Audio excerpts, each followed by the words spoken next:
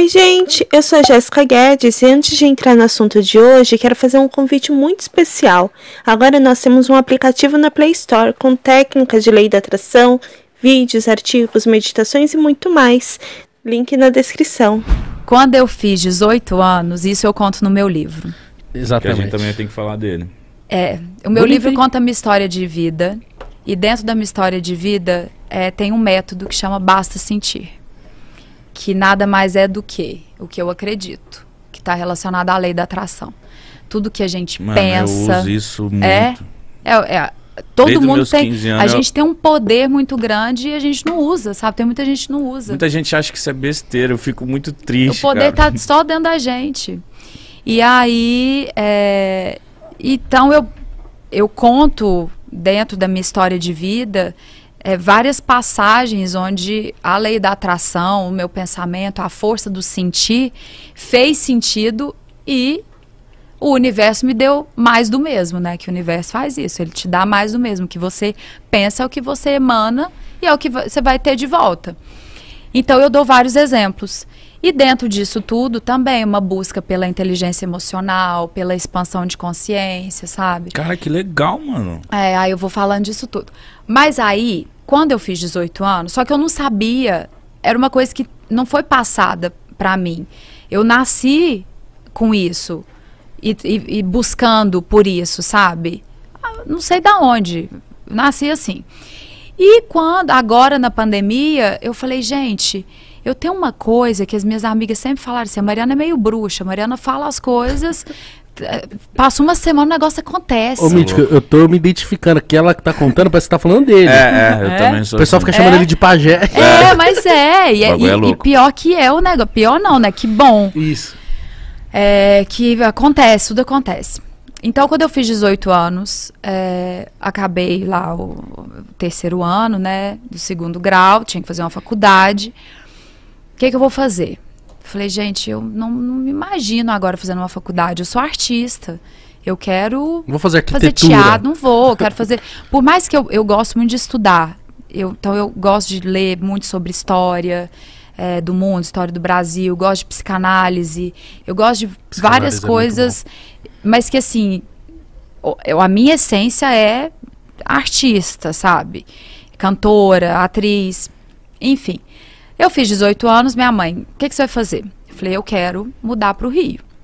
Ah, sim. Decidida. É, eu falei, eu passei minha vida inteira esperando fazer 18 para Que mudar para o Rio. O Rio de Janeiro sempre foi visto como um lugar muito artístico, né? É, e aí você tem a emissora, você tem a Globo, aí as escolas de teatro, Muitos tá todo artistas mundo lá. lá. os artistas lá, né? Ainda mais nessa época, daqui a pouco, isso faz 20 anos, daqui, daqui dois anos isso vai fazer 20 anos, tem noção?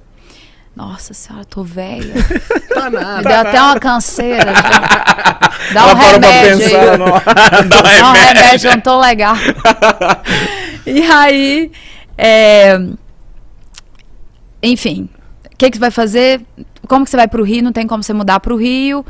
Tenho a minha tia no Rio, mas a gente não tinha muito contato. Era a única pessoa que até então eu conhecia no Rio, que é a irmã do meu pai, a tia Naida. Mas a tia Naida eu encontrava com ela uma vez no ano. Então não tinha, sabe, pra falar, oi tia, tô mudando pra ir. Não dava, sabe? Não tinha como eu fazer isso. E ela nem me conhecia muito. Ela era minha madrinha, ela é minha madrinha, mas não tinha uma intimidade assim, entendeu? Então não tinha possibilidade de eu ir pro Rio. Não tinha dinheiro, não tinha com quem morar. Não tinha nada. Não tinha nada. É só a vontade. Só a vontade, a vontade existia. Eu falei, vai acontecer. A minha mãe, não, Mariana, você precisa ter um plano B. Muda para Uberlândia. Lá tem a casa da fulana, que é uma república, que é a sua vizinha, sua amiga da vida inteira. Vamos procurar, de repente você faz uma escola de teatro em Uberlândia ou não. Eu vou mudar para o Rio de Janeiro. Eu vou fazer escola de teatro lá e eu vou me tornar uma pessoa conhecida. E eu vou trabalhar com o que eu gosto. Que Isso vai acontecer. mano. Aí minha mãe, mas não sei como. Eu falei, tem, calma, vai acontecer. Sua mãe devia estar tipo assim. Que menina Ninguém doida, tira isso da cabeça da menina, É, mano. Deixa e o ela. pior é que eu consegui as coisas todas. Então a minha mãe falou: vamos entregar pra Deus. Ela tá bom, mas já vamos pensando, tá no Berlândia, vai pensando no Berlândia. Deixa isso É, as férias tá acabando, vai pensando no Berlândia. Aí, meu pai nessa época era instrutor de voo livre. Voo livre mesmo, parapente. Ah, que isso. É, meu pai instrutor de voo livre. Nossa, seu pai é muito foda. E meu pai que levou o esporte para Araxá. Então, Araxá tinha campeonato brasileiro de voo livre, sabe? Lá tem um do chama Horizonte Perdido, tem uns lugares mais legais assim para competir e tal. E aí, pra- pra saltar. E aí, é, um belo dia, duas semanas depois disso, que eu tive essa conversa com a minha mãe, a gente ainda tava de férias, férias de janeiro. Toca o interfone, eu vou abrir. Era um aluno do meu pai, o Diogo, que era mais ou menos da minha idade, e ele era namorado de uma amiga minha, de uma conhecida minha.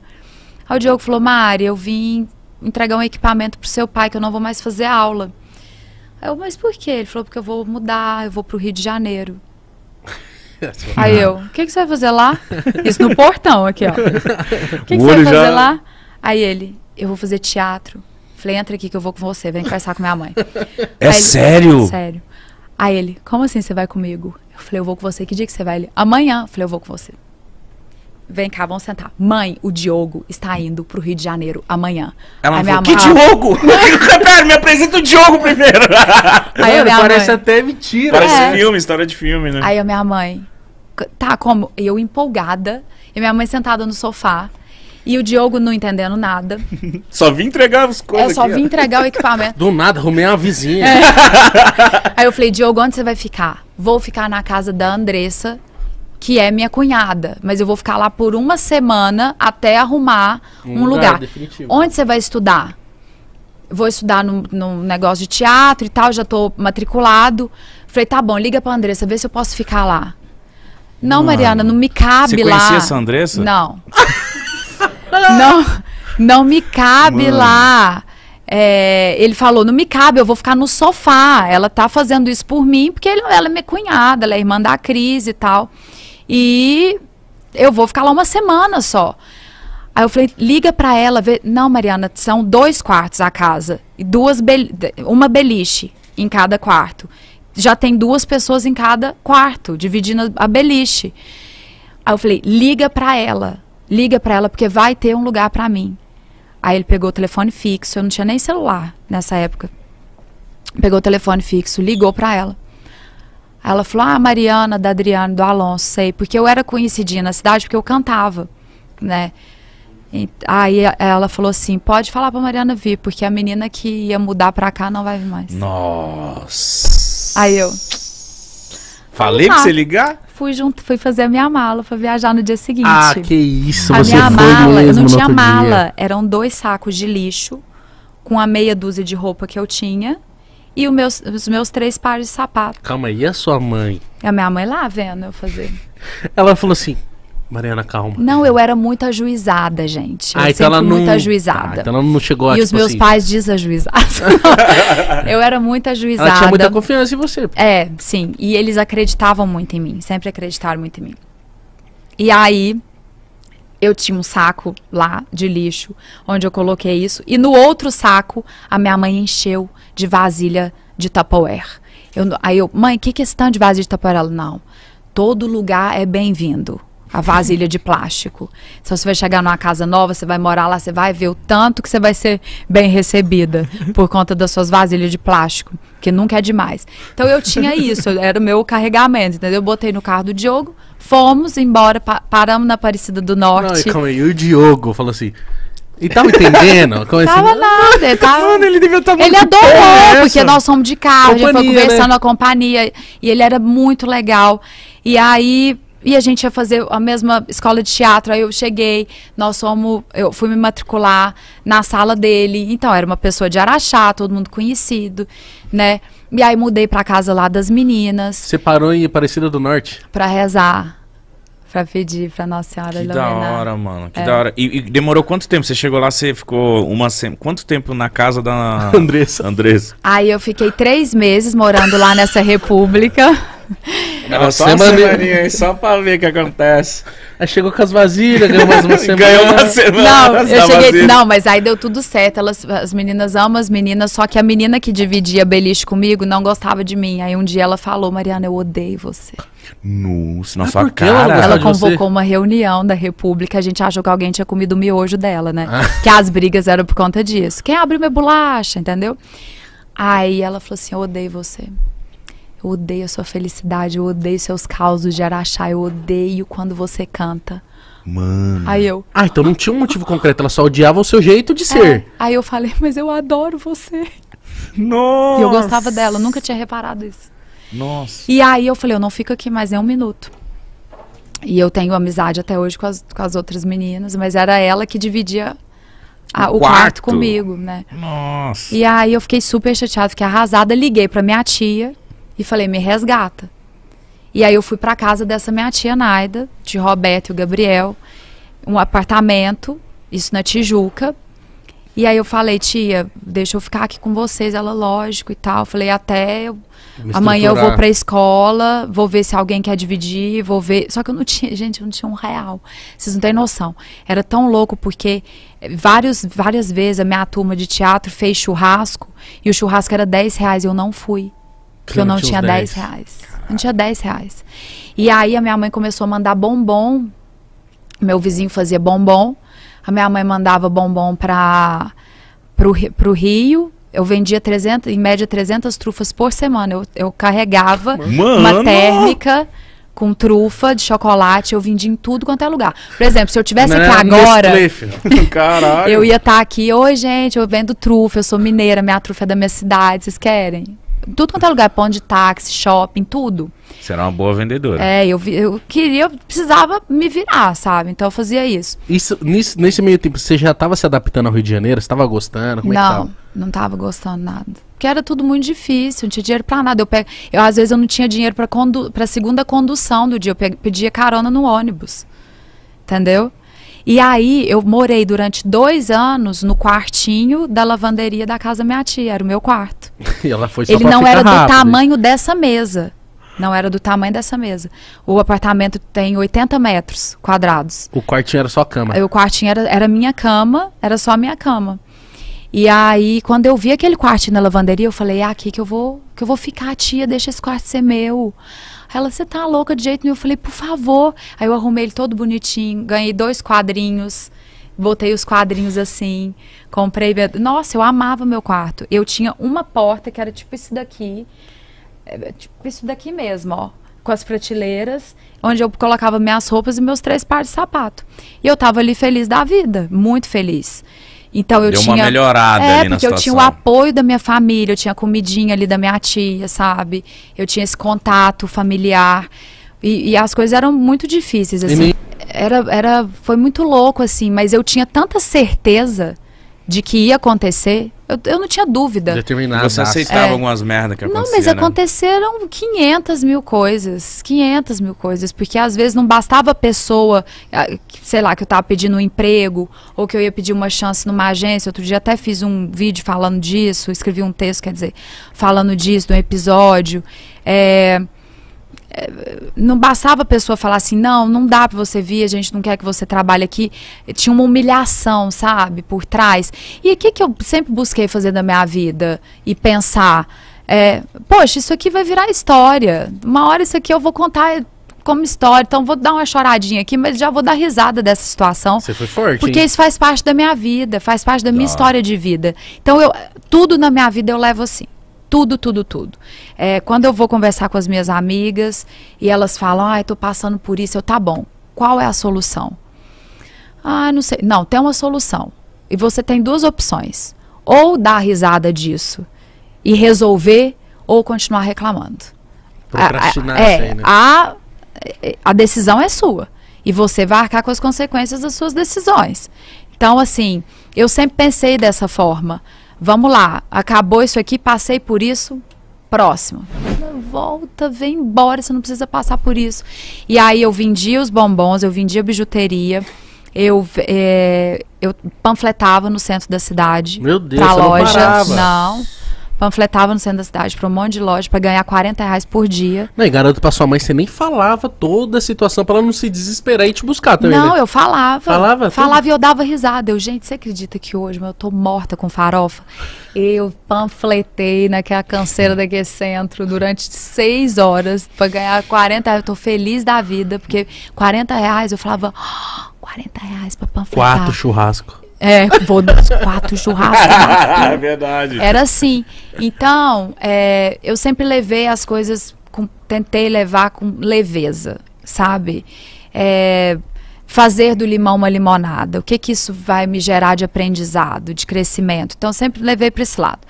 E aí, depois de quatro anos, depois de fazer 1.500 testes, de panfletar muito, de vender muito bombom, eu passei no teste da malhação. Malhação. Sempre, sempre, sempre. Eu, eu- o meu pensamento era inteiro malhação, vou fazer malhação, vou fazer malhação, vou começar na malhação. Então eu fiz 500 testes para malhação, para outras novelas, para tudo, para um monte de, outro, de outras emissoras, de teatro, para tudo. Eu fazia muito teste. Tudo quanto é propaganda, comercial, pegava nada. Fazia nada, não passava em nada. Nada. Uma vez eu fiz teste para ser elenco de apoio, não passei. Eu fiz, gente, eu devo ser ruim O demais. que que faz o elenco de apoio? Não, o elenco de, a- o elenco de apoio é a Apoio o figuração. É o que tá atrás, passando. Mas tem fala. O elenco de apoio tem que ter DRT, Ah, tá. que é o que é o registro, né? Que imagina ela, fala, caramba, eu não Eu tô não boa pra passar. aparecer o meu ombro. ah, então... É, mas é, mas eu não passei. Eu falei, gente, o que que tá acontecendo? Aí fiz teste pra ser cantora do, do programa do Faustão, da banda do Faustão. Também não passei. Passava em nada. Então, tudo isso eu falava, nossa, mas é a minha história. Aí, o que que eu pensava? Falava, gente, a hora que eu conseguir vai ser tão legal, porque eu não, não consigo nada. Então, a hora que eu conseguir vai ser muito... Você sempre vê no lado bom. É, eu sempre vendo o lado bom. Aí apareceu esse teste, foi que ano? 2007, 2008. E aí, como é que foi? Você passou de primeira? Foi fácil? Foi tranquilo? Como é não, que foi? aí eu tava pra desistir mesmo. Tem muita curiosidade como é que é esses É, eu testes. também, mano. Aí eu falei, não, agora ou eu passo isso aqui ou eu vou mudar pra Goiânia, porque eu tenho, minhas, minhas primas moram em Goiânia, Goiânia é um lugar que eu sempre frequentei, desde minha adolescência. E aí eu tinha ido pra lá, eu passei uma temporada de férias lá e foi muito legal. E eu falei, eu não vou ficar sofrendo no Rio, quase não tenho amigo. É, eu vou mudar pra Goiânia, vou fazer outra coisa, vou cantar aqui nos barzinhos, sabe? E é isso, vou tentar um outro caminho, mas eu vou voltar pro Rio. Falei para as meninas, vou ficar mais seis meses no Rio. Se nada acontecer, eu vou mudar para Goiânia. Tanto é que elas foram, as minhas primas foram as primeiras a receber minha ligação. Quando eu falei, gente, eu não vou mudar para Goiânia. Aí elas, ai, por quê? Eu falei, porque eu passei no teste da malhação. Nossa. Aí foi uma coisa, elas gritavam e choravam, minha mãe desmaiou. Depois de quanto tempo você soube que tava, tinha sido admitida? Que, que- Uma semana. então você ficou num terror assim, O tipo... quê? Eterno. Chegava o Natal, mas não chegava Uma ligação. a ser uma ligação. E aí. Mas você saiu com esperança? Tipo, Ou você saiu mais uma vez e tipo assim, Não. mais uma vez nada. Eu É. saí com, com a certeza de que era a hora. Sabe? Eu saí Uhum. com essa certeza. E aí eu comecei a usar tudo que eu falo aqui. Então eu comecei a viver a minha vida como se aquilo fosse uma verdade. Então, o que que eu falo? Que o universo ele não entende tempo. Então você precisa, você não pode pedir, ah, eu desejo isso, você tem que viver como se você já tivesse conquistado. Então eu comecei a viver, e aí no livro eu falo passo a passo disso, como você condiciona a sua mente a pensar dessa forma, entendeu? E a viver dessa forma. Então eu vivia o meu dia a dia como se eu tivesse malhação. Matriz pica já. Então eu atendi o telefone, que eu chamava de mudinho, porque ele não tocava.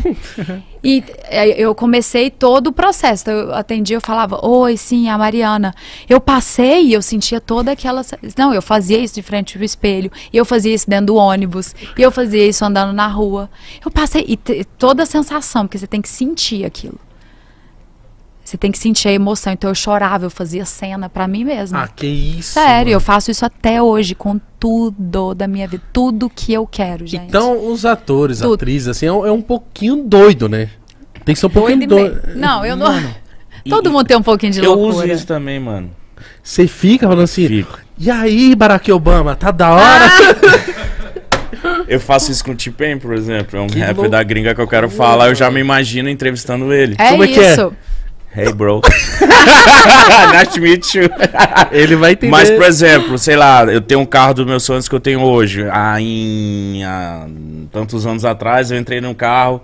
e Ah, aí isso eu- eu já fiz Aí também. o dono ficava olhando assim, aí meus amigos, olha, olha ele tonto. E eu dentro do carro, tipo, mano, É meu. vou ligar aqui. Posso botar o Bluetooth aqui? Aí pode, Ah, bloqueei aí o não. Bluetooth. Eu já fiz Aí isso eu 500 dirigindo vezes. assim, aí passava a mão no volante. Esse carro um dia vai ser meu, mano. Gente, tudo. me- E, dá, e, e conseguiu o carro? Consegui. É isso. é muito louco Eu isso. virei embaixadora da Jaguar. A única embaixadora da Jaguar mundial. Ai, Eu tava vendendo bombom na porta da concessionária da Jaguar no Rio de Janeiro. Entrei. Fiquei encantada com o carro. Entrei no carro. Os vendedores me trataram super bem. Vendi trufa pra eles. e aí, eu falei assim: eu tinha 19 anos. Eu falei assim: eu vou ter esse carro um dia. qual que era? Não, nem sei. Eu cheguei em casa. Jaguar. Eu cheguei em casa e falei assim, pai, conheci um carro que chama Jaguar. Aí meu pai, o sonho da su- do seu avô é andar num carro, num, num Jaguar. Aí meu pai me explicou, não é um carro que chama Jaguar, é uma É marca, marca e tal. tal. Falei, nossa, nunca vi nada mais lindo na vida. Essa minha tia tava comigo nesse dia. E aí, é, e aí eu fiquei com aquilo na cabeça. Eu tive a sensação, eu senti e eu tive a certeza de que aquilo ia acontecer. Aí eu- os anos passaram e tal, eu tinha 19 anos. Quando eu me mudei para São Paulo, há sete anos, mais ou menos assim que eu me mudei, uns dois anos depois, meu pai me liga, e meu pai foi meu empresário anos. Durante anos. Meu pai me liga e fala assim, Mariana, é, você tem uma reunião amanhã. Você não tem noção com quem. Aí eu, com quem? Aí ele falou, com o presidente da Jaguar. Caralho. Falei, você tá, poderia ser qualquer outra marca, vocês concordam? Sim. Sim. Falou, eles querem te, te fazer reunião, te entrevistar para ver se você é, se você está apta para ser embaixadora da marca. Eu falei, não, eu já sou, sou eu, você pode ter certeza. Aí ele falou, e se você for, você ganha um Jaguar. Você tem um Jaguar. Eu falei, sou eu. Aí eu cheguei e contei isso. Nossa, eu que fui, era louco. para ser seis meses. Eu fiquei dois anos na frente da marca, Que isso. fazendo o mundo inteiro, representando a Jaguar. Mas você, você... E tinha meu Jaguar. Mas você falava de carro nas suas redes sociais. Por que, que a Jaguar te Isso procurou? é foda. Não. Porque isso é outra coisa também que faz parte. O seu desejo, ele tem que estar claro para você. Você não pode colocar. é, você não pode construir o caminho para que aquele desejo se realize e você não pode contar para as pessoas. É seu, entendeu? Você não pode fazer com que essa energia saia de você. Ela não, para os outros, entendeu? Você, aquilo é seu. Você tem que se apropriar até que se realize. Você não pode colocar um tempo para realizar e nem um caminho. Ah, quero comprar um apartamento, mas para comprar um apartamento eu preciso vender a minha moto. Você não pode fazer esse caminho. Você tem que imaginar que você mora no apartamento. Uhum. Então você tem que É viver como se você morasse no apartamento. É isso é muito- física quântica, gente. E a gente não usa, a gente usa muito pouco da nossa capacidade cerebral. Muito pouco. A gente tem um poder muito grande. É todo mundo, né? Não sou eu, não, é todo mundo. Eu Sim. tenho tanto caso, tanta coisa, assim. E a Jaguar foi um- uma coisa. A história da geladeira lá de casa e do fogão é outra, sabe? Que é bizarra. É O uma marca. aí? Ah, ó, quando eu tava panfletando no centro, eu panfletei no centro da cidade por uma marca de roupa feminina. Vou falar se quiser. Tem problema. Eu não. eu nem sei se, se tem mais essa marca, Mercato. Eu, eu carregava, assim, um, essas, como é que fala? Tipo, essas revistas, né, de, Tipo catálogo. de- um catálogo. Então eu ficava lá com aquele monte de, de catálogo na mão, panfletando o dia inteiro, de sete da manhã às quatro da tarde. E aí eu olhava para aquilo, eu falava, eu, eu imaginava o meu rosto ali, eu falava, sou eu aqui, eu vou fazer. Então eu, eu entregava para as pessoas às vezes falando assim, o meu catálogo, a minha campanha, ninguém entendia nada, povo tá passando ali, nem olhava na minha cara, nem olhava na cara, eu, oi, olha a minha campanha, minha campanha, assim, olha a aí o garoto propaganda. a Cláudia Raia aqui. É, tá era isso. Era, era tipo isso, era Sabrina Sato, sabe? Eu tava ali. Sim. E eu, assim, um dia serei eu. E aí eu fui fazer o evento para entregar o brinde lá da Mercato. Foi uma semana de, de evento, de lançamento de coleção. E aí tava a artista da capa lá e eu entregando o brinde, ela no palco e eu entregando o brinde. E eu tinha certeza que aquilo ia acontecer. E um ano depois, quando eu tava panfletando, foi quando eu recebi o- a notícia que eu passei no teste da malhação. Eu tava panfletando pra essa loja. E aí, um ano depois, eu fui contratada para fazer a campanha da Mercato. Eu estava no catálogo. E quando eu subi no palco para fazer o evento, eu falei: então, ano passado, meninas, vocês que estão entregando os brindes, nunca desistam dos seus sonhos. Nunca, porque ano passado eu estava no lugar de vocês. E hoje eu tô aqui onde eu imaginei que eu estaria. Então, com força total, saiba o que você quer. E não deixe ninguém te dizer o contrário. Vai no seu caminho. E aí ninguém sabia disso na mercado.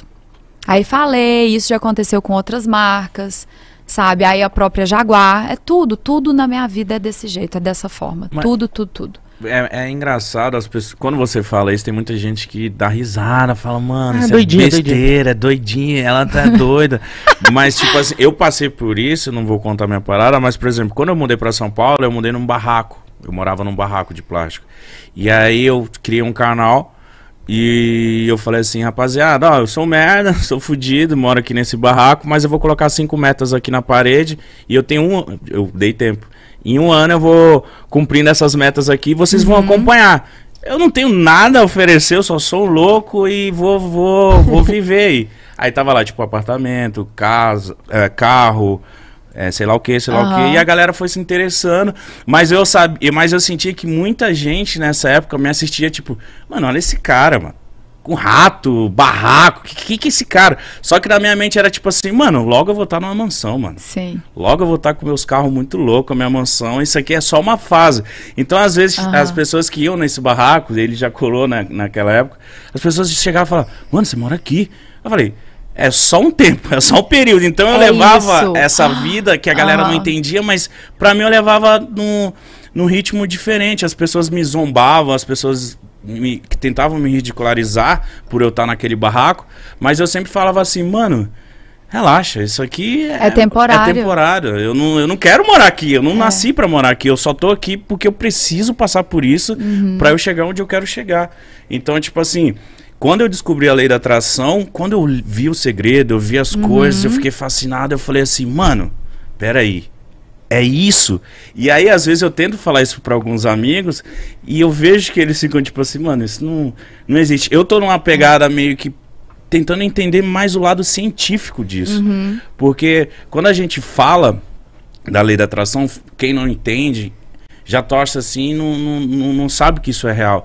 Então eu tô começando a pesquisar mais o lado científico, porque eu com 15 anos eu prometi, eu falei com 30 eu vou estar milionário, eu vou estar foda, eu vou estar isso, isso, isso e isso.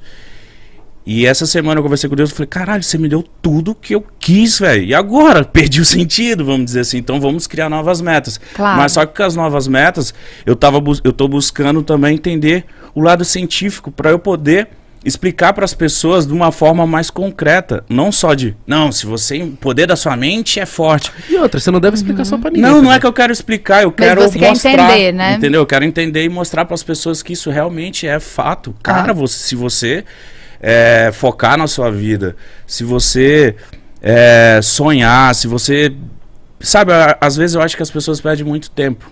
É preocupado com a vida dos outros. Sim. Ai, fulano fez isso, ai, fulano fez aquilo. E a gente perde muito tempo com isso. É, se a gente focar em nós, É. esquece Mas é, que ela está falou, tudo né? dentro da gente, Focar né? na solução. É, e tá tudo dentro da gente. É isso que eu, eu sempre falo, assim, é dessa forma que eu penso, que eu vivo. É, todos os sentimentos estão dentro de mim. A minha evolução, ela é individual. Se eu olho a, a sua conquista, eu estou olhando dentro do seu caminho. O seu caminho é seu, ele te pertence, ele não me pertence. Então eu tenho que olhar para o meu. Mas a maioria das pessoas, elas têm medo de, de querer algo É, e de se entregar a esse sentimento pelo medo da frustração. Então você não se permite desejar porque você tem medo de se frustrar. Sim. Entendeu? Então você fala assim: pra que, que eu vou sonhar se não vai dar certo mesmo? Você não se permite nem sonhar. Eu conheço e eu faço esse trabalho com pessoas da minha família, com os meus amigos. Muita gente me procura no Instagram por direct, aí eu, eu leio ali, eu falo: não, eu quero fazer um trabalho com essa pessoa aqui sabe? E não é só de coisa material, é para tudo, até porque se você não busca inteligência emocional, se você não busca se compreender, compreender a vida, não adianta, você pode ter o dinheiro que for, você pode realizar tudo que você quer, você pode ganhar na mega cena que você não vai se sentir bem, você não vai se sentir completo e realizado. Não é sobre isso. A, a gente precisa primeiramente buscar é, compreensão. Você demorou para ter essa consciência? Não, sabia? Não sei porquê. É, mas é, isso é uma busca minha. Eu sempre quis ser desse jeito, eu sempre quis entender as coisas. Eu sempre quis, eu sempre me perguntei, questionei muito é, e fui atrás de desse pensamento positivo.